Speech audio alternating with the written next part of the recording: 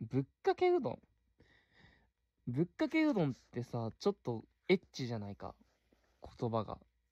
そんなことない言うと思った。いや、ちょっと、あ、読まれてるもしかして。いや、エッチだろ ちょっとエッチに言って。いい？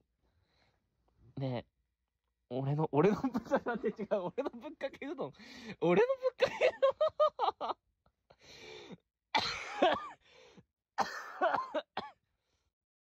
死ぬかと思った、今、自分に。ねえ、俺のぶっかけうどん食べて。もう食べれないよ。俺のぶっかけうどん食べて。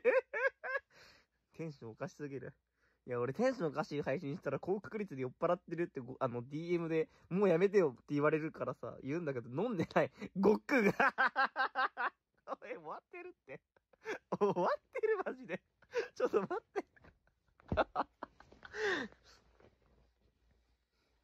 おもろすぎるだろ。ちょっと待って。あ、ずるいわ。それはずるい。それはずるいわ。